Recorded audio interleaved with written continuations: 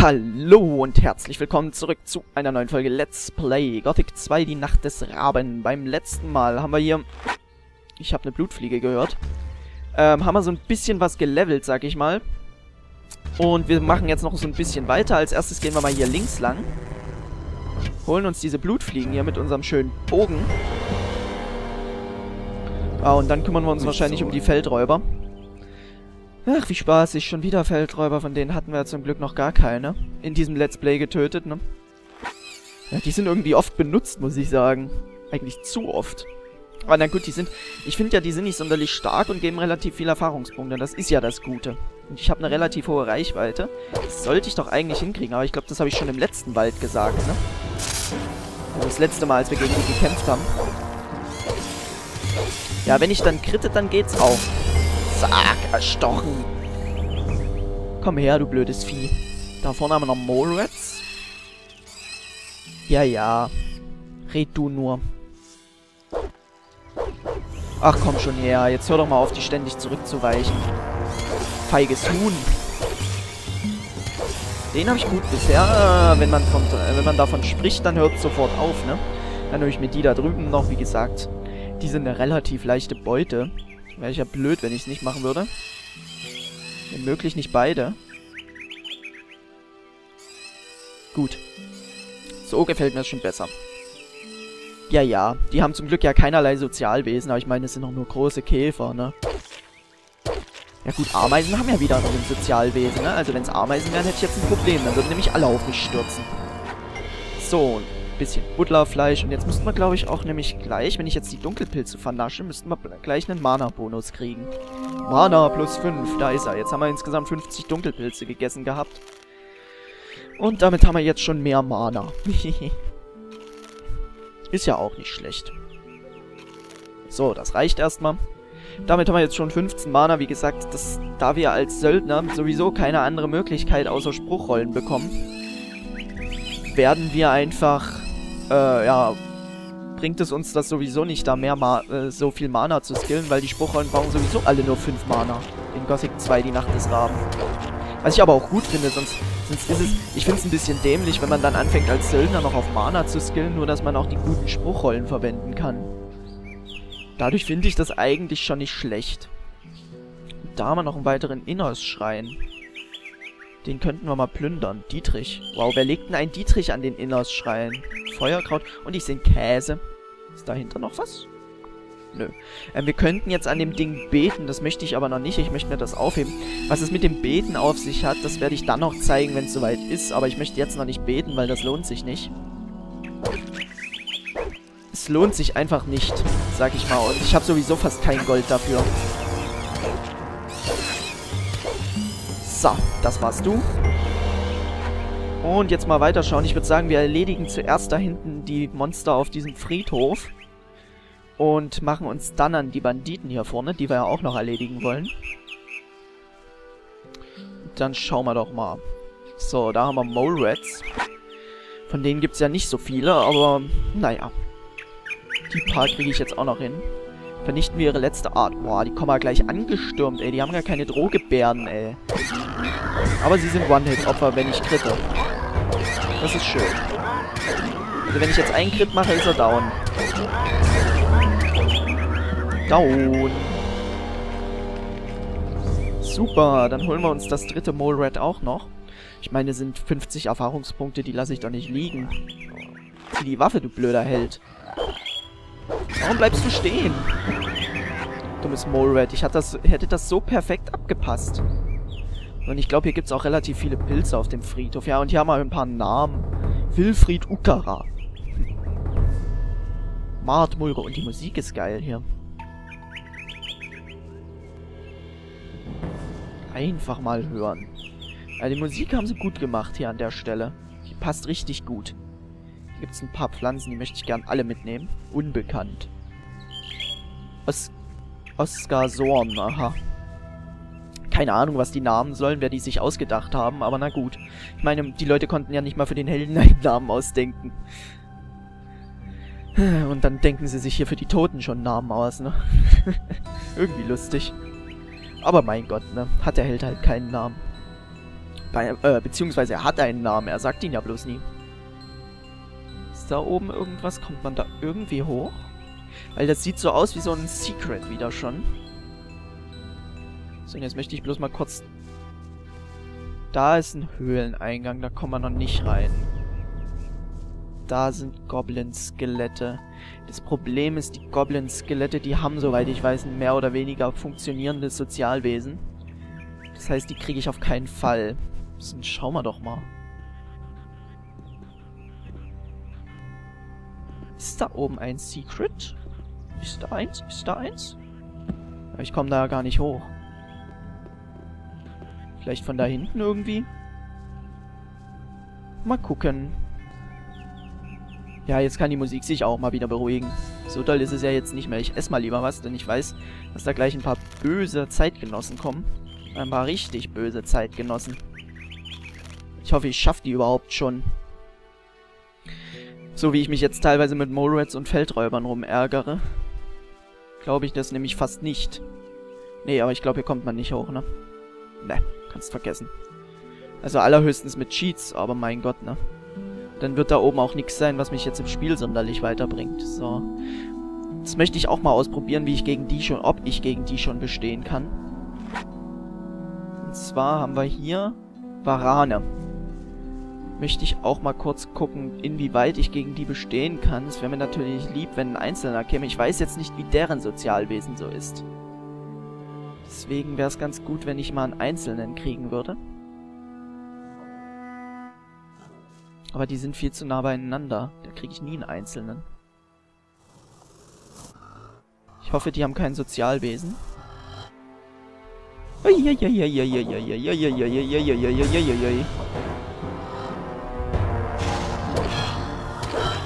Niemals. Niemals. Obwohl, er ist ziemlich blöd. Aber der macht auch Schaden. So. Ah, der weicht immer direkt zurück nach einem Angriff. Das ist schlecht für mich. Und der wartet gerade gut ab. Also ich kann sie theoretisch schaffen, wenn ich einen guten Tag erwische. Und es richtig hinkriege, aber jetzt habe ich irgendwie nicht mehr... Hat er irgendwie den Schlag nicht mehr durchgeführt. Naja. Hm. Hm. Glaube ich, lasse ich erstmal. Merken wir uns vielleicht die Stelle.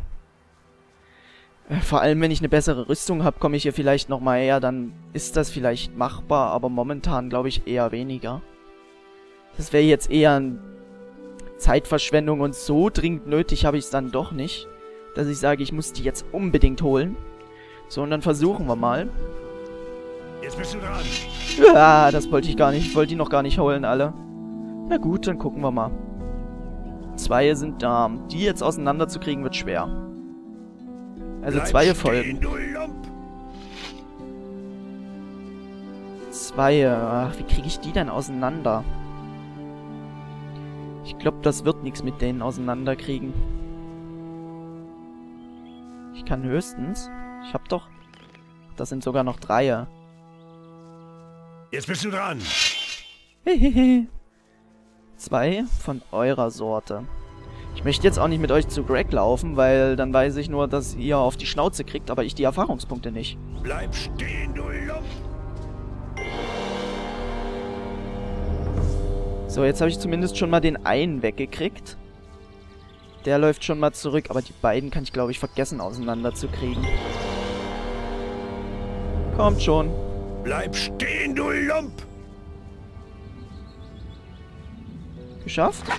Ne, es sind immer noch beide. Mist, Mist, Mist. Die kriege ich nie auseinander. Das kannst du vergessen. Bleib stehen, du Lump! Komm schon, komm schon, komm schon. Nur der Hintere soll die Waffe wegstecken. Ach, Mist. Mist, Mist, Mist. Und jetzt laufen die auch noch auf dem Weg. Okay, gucken wir mal. Vielleicht schaffe ich ja beide. Vielleicht schaffe ich ja beide. Ich glaube es zwar nicht, aber vielleicht schaffe ich beide. Ach, Mist. Das ist immer so ein Problem beim Anvisieren. Das ist zwar für einen Kampf an sich gar nicht mal schlecht. Ach, Mist, jetzt sind die zu weit gelaufen. Aber... Ach Gott. Jetzt komme ich nicht mal zum Angriff mehr. Ne, zwei kann ich vergessen.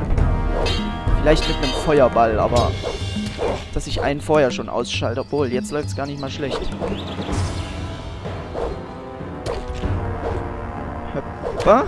Ach, verdammt. Das war's für dich, Penner. Nee, nee, nee. Jetzt kommen so langsam die etwas schwierigeren Stellen. Ich glaube, ich werde einfach auf einen Zauber zurückgreifen. Ich würde die eigentlich schon gerne mir holen, diese netten Leute hier. Wunden heilen. Wir haben, wir haben doch noch einen Feuerball. Kommt mal her, Freunde. Kommt mal her. Kommt doch mal her, bitte. Jetzt bist du dran. So, der dritte kommt blöderweise auch, wie ich das gehört habe. Ja, den muss ich jetzt erstmal rauskriegen hier. Aus der Gruppe und dann hole ich mir die beiden mittels des Feuerballs. Bleib stehen, du Lump. Na, natürlich. Ah, Glück gehabt. Glück gehabt. Ah, Moment. Ach, verdammt, jetzt kommt natürlich der dritte. Rollern, den kann ich durchs Haus anvisieren, das ist auch schön. Obwohl, jetzt kann ich die gut trennen. Der eine steckt weg. Der andere steckt weg. Zack. Ha, gut getrennt. Gut getrennt. Mist, jetzt kommt der andere. Komm, beeil dich doch mal, greif an. Möchte dich fertig kriegen, bevor der andere ankommt. Ach, Mist, ey. Bist aber auch... Der ist aber auch schlau, ne? Der hat das gemerkt. Habe ich das Gefühl.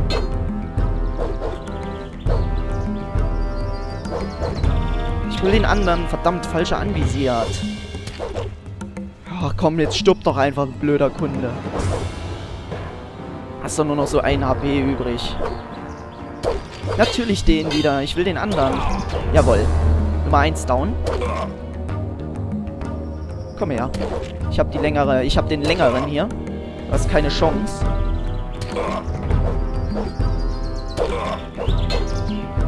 Komm her. Du hast gegen meinen langen keine Chance. Na also, läuft doch. Wenn man es hinkriegt, die auseinanderzuziehen, dann geht das ja alles. Geben mehr Erfahrung als die Barane, glaube ich, oder? Nee. Oh. Natürlich schlägst du in eine andere Richtung auf einmal. Ich wollte dir gerade ausweichen. Okay, die, ah, die sind schon nicht von schlecht. Oh, der hat sogar zwei Degen dabei gehabt, oder war das andere? Moment, jetzt möchte ich mal kurz gucken. Ne, es waren zwei Degen. Oh, geil. Das gibt Geld. Oh, hier haben wir einen Degen der Banditen. Das ist ein kleiner besonderer Degen. Denn dieser Degen der Banditen, der Buchstabe F ist in den Knauf geritzt. Hm, was das bloß zu bedeuten hat. Interessant, interessant. Gut, haben wir erstmal das jetzt geklärt. Und dann haben wir den vielleicht. Vielleicht können wir da ja mit einem in der Stadt darüber reden. Und dann gucke ich mal, da war ja noch so ein Einzelner. Jetzt gehe ich nochmal kurz Greg ansprechen. Also ich sterbe zwar relativ viel hier, muss ich ganz ehrlich zugeben. Ich hatte gehofft, es wird weniger, aber das ist einfach. Ich habe das Spiel zu lange nicht mehr gespielt. Naja. Dann hole ich mir jetzt noch diesen anderen Typen da hinten. Der da mit uns mitgelaufen kam. Dann habe ich ja noch einen Feuerball übrig. Ja, den sparen wir jetzt erstmal auf. Ja, haben wir jetzt Mana? Sieb Warum haben wir schon 17 Mana? Wahrscheinlich haben wir irgendwann mal zwei Mana-Boni bekommen, aus irgendeinem Grund. Ach so, bestimmt von Daron, ne? Jetzt sind das noch drei. Und jetzt hat uns auch der Bogenheini entdeckt.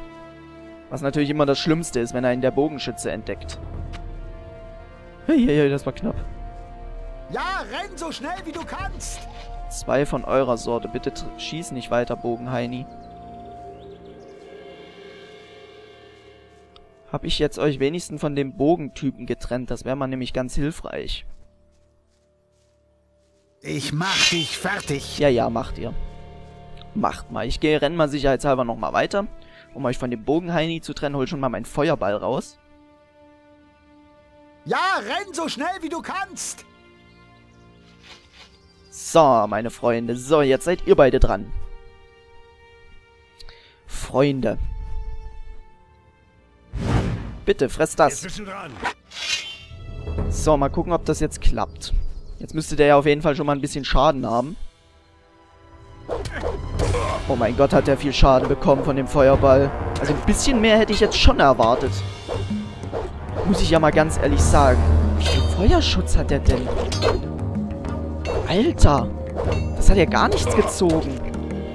Das war eine totale Verschwendung. Da will ich ja jetzt fast schon sterben. Damit ich meinen Feuerball zurückkriege. Oh, meine Güte, ihr schlagt aber auch immer genau in die Richtung, in die ich ausweichen will. Und jetzt habe ich hier keinen Platz mehr. Das war's für dich, Penner. Nee, nee, nee. Ich hasse diese Banditen. Okay, der Feuerball nützt nix, habe ich das Gefühl. Den können wir vergessen. Alter, was haben die denn bitte für einen Feuerschutz? Habt ihr auch so einen hohen Bogenschutz? Jetzt bist du dran. Der ist schon fast geringer. Hat sich auf jeden Fall gelohnt, da mal mit dem Bogen drauf zu halten. Und ich habe einen Pfeil verloren. Warum? Ja, kletter du erstmal auf den Zaun. Dann kann ich schon mal den hier einmal treffen. So, jetzt gehen wir ein Stück in die Richtung, damit ihr nicht zu nah an die Taverne kommt. Damit ich eure Erfahrungspunkte auch wirklich bekomme. Habe ich mich wieder gedreht, das gibt's doch gar nicht. So, oh, Crit, perfekt. Muss ich nur konzentrieren, dann geht das auch alles, meine Güte. Jetzt rennen wir ja wieder zurück. Ich will den anderen bitte anvisieren. Autsch. Eieiei, ist das eng hier. Falscher, falscher. Hab ich den anderen gerne, danke. Ja, Mist. Dass der den nicht hält. Na gut, der kann ja nicht wissen, was ich will, ne? Das ist das Problem. Falsch. Ach. Jetzt läuft es nicht mehr so gut. Wenn ich den einen wegkriegen würde, wäre es vorbei. Oh, verdammt, was ist denn jetzt los? Jetzt habe ich im Stein festgehangen. Das ist gemein. Und jetzt visiere ich schon wieder den Falschen an. Oh, meine Güte. Jawohl, einer down. So, jetzt kann ich dich nämlich auch noch... Verdammte Kacke! Junge, geht's dir noch gut? Wieso hat er mich jetzt mit einem Schlag? Mann, machen die starke Crits. Die sind ja fast so wie ich.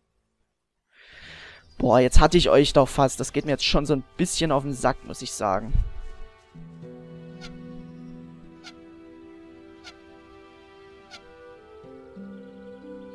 Ich würde gerne den hinteren anvisieren, das wäre... Jawohl. Jetzt bist du dran. Mist.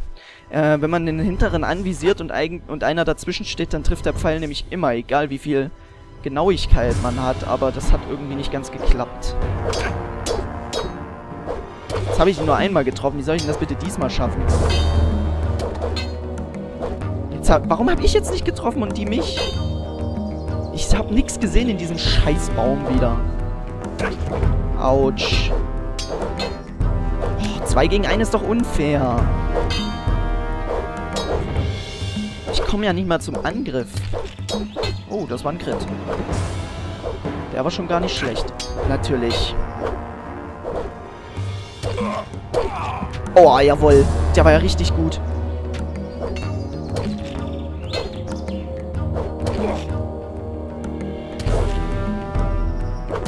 Alter, Block.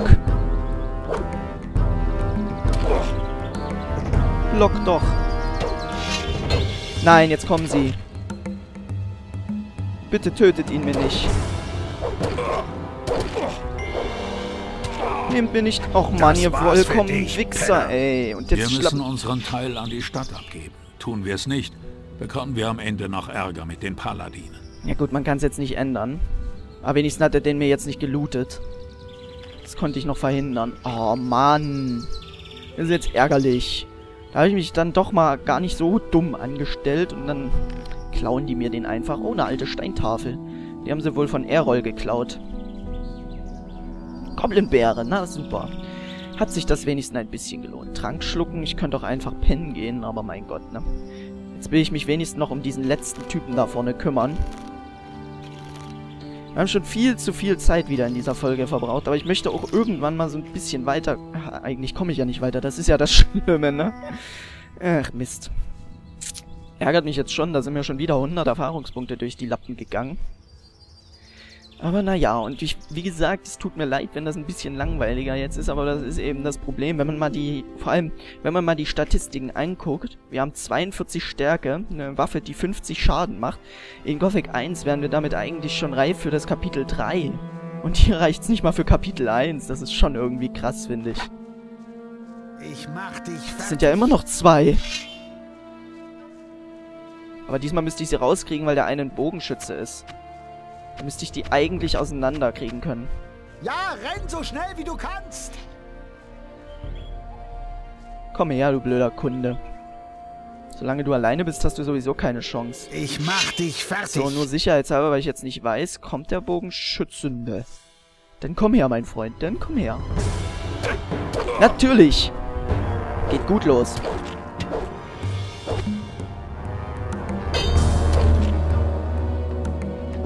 Meine Güte, blöder Zaun! Blöder Zaun, du bist im Weg. Jawoll. Crit, jetzt ist das Ganze wieder ausgeglichen hier. Er hat nämlich auch einen Crit gemacht. Uiuiui, der war knapp. Ich näher mich schon wieder viel zu sehr der Taverne. Jawoll. So, und dann holen wir uns hoffentlich noch den letzten Banditen jetzt. Diesen blöden Bogenschützen da, aber eigentlich sind die Bogenschützen ja meist so aufgestellt. Wenn die nicht in, nah äh, wenn die in Nahkampf gezwungen werden, haben die eigentlich in der Regel schlechtere Waffen. Ich meine, sonst wären sie ja auch schon ein bisschen gemein, ne? Wenn sie im Bogen schießen und darin super wären. So, dann bist du jetzt dran. Du bist jetzt endgültig der Letzte. Ja, mal auch Heilpflanzen, merke ich. Die nehme ich mal mit. Schaden kann es auf keinen Fall so viel Lebensenergie, wie ich ja immer verlier ver verliere, genau, verliere. Komm her, Junge, komm her. Dann ist die Brücke endlich frei. Jetzt Oh, gleich ein Crit zum Anfang. Geil. Ja, der hat nur einen Knüppel, der Kunde. Komm her, Junge. Komm her.